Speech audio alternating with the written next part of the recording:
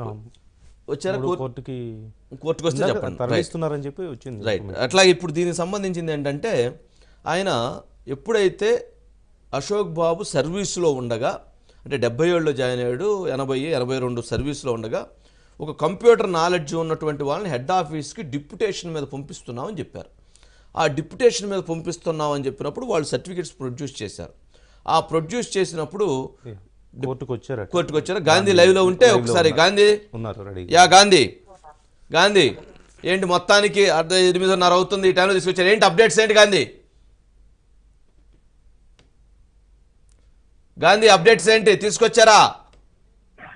ఇప్పుడే ఒక పది నిమిషాల క్రితమే ఎమ్మెల్సీ పరచూరు అశోక్ బాబు ని విజయవాడ కోర్టుకు తీసుకొచ్చారు. అట్లాగే విజయవాడ కోర్టులో ఉన్నటువంటి సెకండ్ ఏసీఎం కోర్టులో ఆయన్ని హాజరుపరుస్తున్నారు. దానికి సంబంధించినటువంటి పేపర్ వర్క్ అంతా ఇప్పుడు జరుగుతుంది. అయితే ఈ రోజు ఉదయం నుంచి కూడా అసలు కోర్టులు ఏ కోర్టులో హాజరుపరుస్తారు? ఎక్కడ ఏ మేజిస్ట్రేట్ ముందు పెడతారు అనే విషయంలో కొంత సందిగ్ధత ఉంది. అంటే గుంటూరు కోర్టు అని చెప్పి మంగళగిరి కోర్టు అని రకరకాలుగా. ఎందుకంటే దానికి సిఐడికి సంబంధించి ఇన్ఫర్మేషన్ అనేది కూడా ఎక్కడ బయటికి రానివ్వట్లేదు. అలాగే ఈ అశోక్ బాబుకు సంబంధించినటువంటి న్యాయవాదులు కూడా వాళ్ళని మాట్లాడే ప్రయత్నం చేసినా కూడా ఎవరిని కూడా సిఐడి కార్యాలయంకి అలౌ చేయని పరిస్థితి కనుక ఈ రోజు ఉదయం నుంచి కూడా ఉంది. అలాగే అశోక్ బాబుకు సంబంధించినటువంటి పార్టీకి సంబంధించిన సన్నిహితులు వెళ్ళినా కూడా వాళ్ళు కూడా ఆఫీస్లోకి వెళ్ళ వెళ్ళనివ్వలేదు అడ్వకేట్ వెళ్ళనివ్వలేదు లేకపోతే నాయకులు కూడా వెళ్ళనివ్వలేదు. ఇంకా పైగా నాయకులు కూడా అక్కడ అరెస్ట్ చేయడం జరిగింది. అయితే ఈ రోజు దాదాపుగా ఇప్పుడు అరెస్ట్ చేసి ఆ, ఇరవై గంటలు ఇరవై గంటలు నియర్లీ ట్వంటీ అవర్స్ అయింది. ట్వంటీ అవర్స్ తర్వాత ఎందుకంటే twenty four hours arrest intimation twenty four అవర్స్లో అరెస్ట్ చేయాలి కాబట్టి ఈ రోజు ఇప్పుడు ట్వంటీ అవర్స్ తర్వాత మేజిస్ట్రేట్ ముందుకు తీసుకొచ్చారు. సాధారణంగా కోర్ట్ అవర్స్లోనే ఈ అరెస్ట్ ప్రొసీజర్ అంతా ఉంటుంది. కాకపోతే మరి పేపర్ వర్క్ లేట్ అయిందో ఏమైంది కానీ ఇప్పుడు ఒక పది నిమిషాల క్రితమే అశోక్ బాబు గారిని లోపల విజయవాడ కోర్టుకు తీసుకెళ్ళడం జరిగింది. అయితే ఇక్కడ ప్రస్తుతం కనుక న్యాయవాదులు కూడా వెళ్ళారు. అశోక్ బాబు గారి తరపున న్యాయవాదులు కూడా అక్కడికి వెళ్ళడం జరిగింది. అయితే దీనికి సంబంధించి ఆయన ఆరోగ్య కారణాల దృష్ట్యా బెయిల్ అనేది అవసరం అని చెప్పి కూడా వాళ్ళు వాదించేటువంటి వాదిస్తానికి కూడా సిద్ధమయ్యారు. మరో పక్క ప్రభుత్వం తరఫున సిఐడికి సంబంధించినటువంటి న్యాయవాదులు అయితే ఆయన కస్టడీ పిటిషన్ కూడా ఈ రోజు దాఖలు చేస్తున్నారు. మొత్తానికి కస్టడీ పిటిషన్ ఇస్తారా? బెయిల్ ఇస్తారా? అనేది మాత్రం ప్రస్తుతం ఇంకా తేలాల్సి ఉంది. అయితే బెయిల్ ఒకవేళ బెయిల్ ఇస్తే కనుక కండిషనల్ బెయిల్ ఇస్తారా? లేకపోతే కనుక బెయిల్ ఇవ్వకపోతే రిమాండ్ వేసి కనుక ఎన్ని రోజులు రిమాండ్ వేస్తారు? అట్లాగే వీళ్ళు ఇచ్చినటువంటి బెయిల్ పిటిషన్ని వాయిదా వేస్తారా? దాన్ని డిస్మిస్ చేస్తారా? అనేది కొంతసేపట్లో తెలియాల్సి ఉంది అయితే ఆ, అశోక్ బాబుకి సంబంధించి ఆయన ఇక్కడికి వస్తారని తెలుసుకుని ఎమ్మెల్సీలు సత్యనారాయణ రాజు అలాగే దీపక్ రెడ్డి వీళ్ళతో పాటు కొంతమంది నాయకులు కూడా ఇక్కడ కోర్టు దగ్గర వచ్చిన సందర్భంగా పోలీసులు అయితే వాళ్ళని కనీసం కోర్టు గేట్ దగ్గర కూడా నిల్చోకుండా వేరే దూర ప్రా- దూరంకి పంపించేశారు. వాళ్ళని ఈ సందర్భంగా వాళ్ళకి పోలీసు అధికారులకి ఎమ్మెల్సీలకు మధ్య కూడా వాగ్వాదం చోటు చేసుకుంది. అయితే ఆ, కొద్దిసేపటి క్రితం పరిస్థితి అశోక్ బాబుకు సంబంధించి వాళ్ళ సతీమణి కూడా ఇక్కడికి రావడం జరిగింది. ఆవిడ కూడా లోపలికి ఎలా చేయలేదు. ఎందుకంటే వాళ్ళ మెడిసిన్స్ క్లాత్స్ అన్ని కూడా తీసుకొచ్చిన బట్టలు కూడా తీసుకొచ్చినటువంటి పరిస్థితి ఉంది. అయితే వాళ్ళని కూడా ఆ హ్యుమానిటీ గ్రౌండ్లో కూడా వాళ్ళని వెళ్ళ వెళ్ళనివ్వలేదని చెప్పి వాళ్ళు ఆవేదన వ్యక్తం చేసేటువంటి పరిస్థితి మాత్రం ఇక్కడ కనిపిస్తుంది. ఏదేమైనా కానీ మరికొద్ది సేపట్లో దీనికి. సంబంధించి రైట్. మెజిస్ట్రేట్ ముందు పెట్టు. రైట్. గాంధీ ఏదంటే అప్డేట్ ఇవ్వండి. అక్కడే ఉండండి. అప్డేట్ సంబంధించి కస్టడీకి ఇస్తారా లేకపోతే బెయిల్ ఇస్తారా? ఏంటనేటువంటి దాంట్లో అప్డేట్స్ సిద్ధంగా ఉండండి. రైట్ ఇదే అంశానికి అసలు ఏంటి ఈ కేసు? మనం ఇందాక ఈ కేసులో ఏంటి ఆ వివాదం ఏంటి? ఆ ఈ కేసుకు సంబంధించి మనం చెప్పినట్టుగా ఎక్కడైతే అశోక్ బాబు సర్వీసులో ఉండగా ఆయనకు సంబంధించినటువంటి హెడ్ ఆఫీస్కి డిప్యుటేషన్ మీద పిలిచారు. పిలిచినప్పుడు కంప్యూటర్ నాలెడ్జ్ ఉన్నటువంటి వాళ్ళని. ఈయన డిప్యుటేషన్ సంబంధించిన దాంట్లో ఈయన సర్టిఫికేట్స్ ప్రొడ్యూస్ చేసే దాంట్లో డిప్లొమా ఇన్ కంప్యూటర్స్. అంటే మనం ఏం చెప్తామంటే డి డాట్ కామ్ అని పెడతాం. కంప్యూటర్స్ డి డాట్ కామ్ అని పెడతాం. అట్లాగే డి డాట్ కామ్ అని ఆయన ఆ సర్టిఫికేట్ని ప్రొడ్యూస్ చేశారు. ఎవరైతే అక్కడ టైప్ ఎంటర్ చేసేటువంటి అతను డీకామ్ని బీకామ్ అని ఎంటర్ చేశాడు. ఇది జరిగింది. ఈ డీకామ్ని బీకామ్ అని ఎంటర్ చేశాడు. తర్వాత దీనికి సంబంధించినటువంటి అంశంలో డేటా ఎంట్రీ ఇది తప్పుపడిందని నిర్ధారణ చేశారు. ఈయన కూడా ఈ తప్పుపడింది సరిచేయండి అని ఈయనే స్వయంగా లెటర్ ఇచ్చి దాన్ని సరిచేయించాడు రైట్. ఇది ఇది కావాలని చేశాడు దీనివలన ఆయన ప్రమోషన్స్ లబ్ధి పొందారు అనేటువంటిది ఆయన మీద ఉన్నటువంటి అభియోగం. దీనికి సంబంధించి విజిలెన్స్ డిపార్ట్మెంట్ దీని మీద విచారణ చేసింది. విజిలెన్స్ డిపార్ట్మెంట్ విచారణ చేసి ఎంక్వైరీ చేసి ఇది టైపింగ్ మిస్టేక్ వలన జరిగింది. ఆయన ప్రొడ్యూస్ చేసినటువంటి certificate DCom diploma in computer certificate మాత్రమే అని నిర్ధారించింది.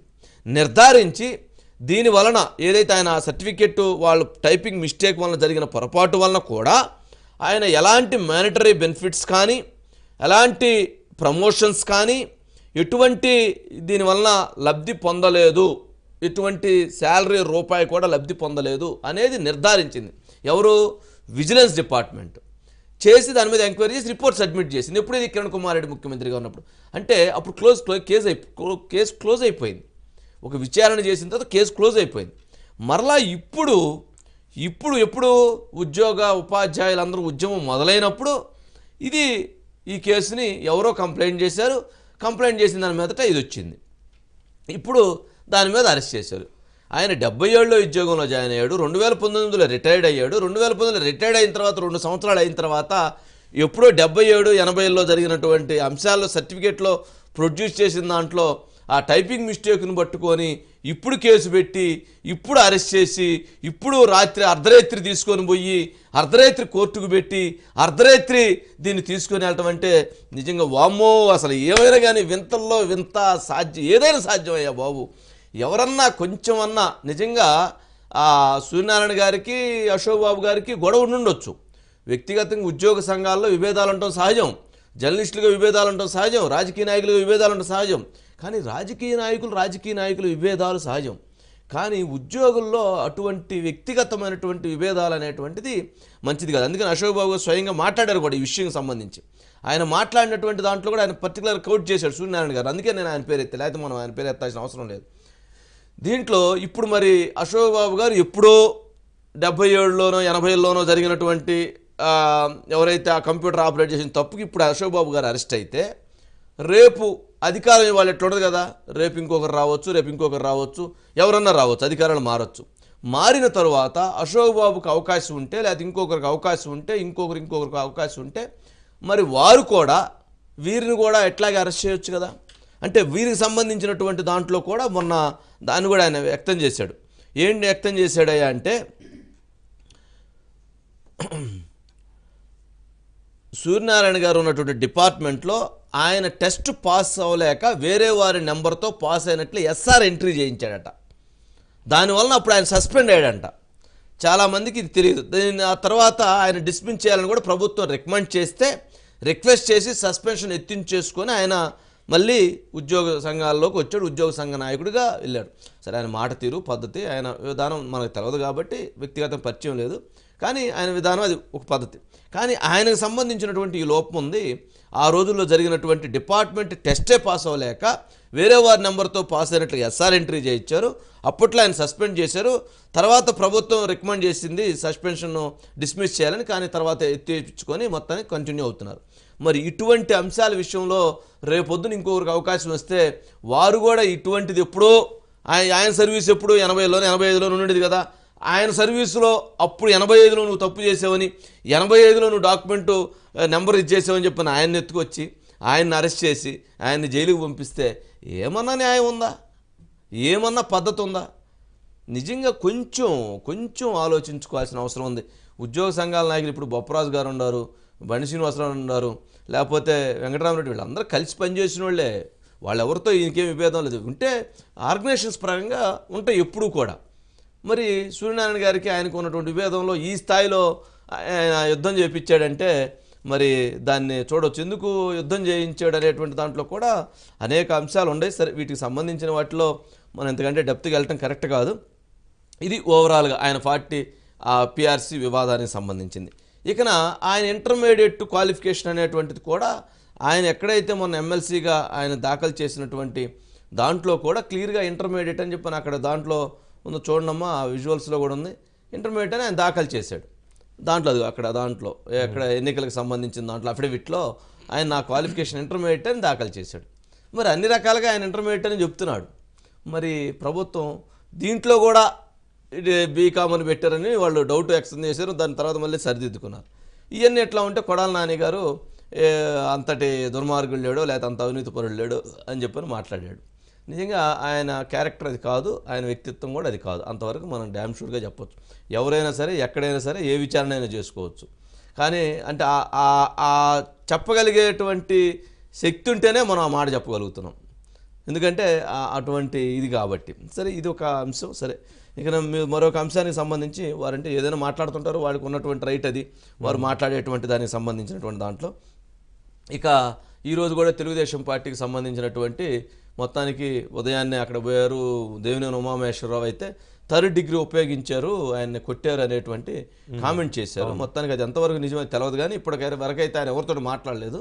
సో నాకు తెలిసి అటువంటి చర్యలు చేసి ఉండకపోవచ్చేమో లేదా చేసినా కానీ ఇంత జరిగిన తర్వాత అది చేయలేదని కూడా ఎవరైనా మాట్లాడచ్చు. ఒకసారి దేవినేని ఉమామేశ్వరరావు బయట ప్లే చేయండి. రైట్ దేవినేని ఉమామేశ్వరరావు బయట. పిసిఆర్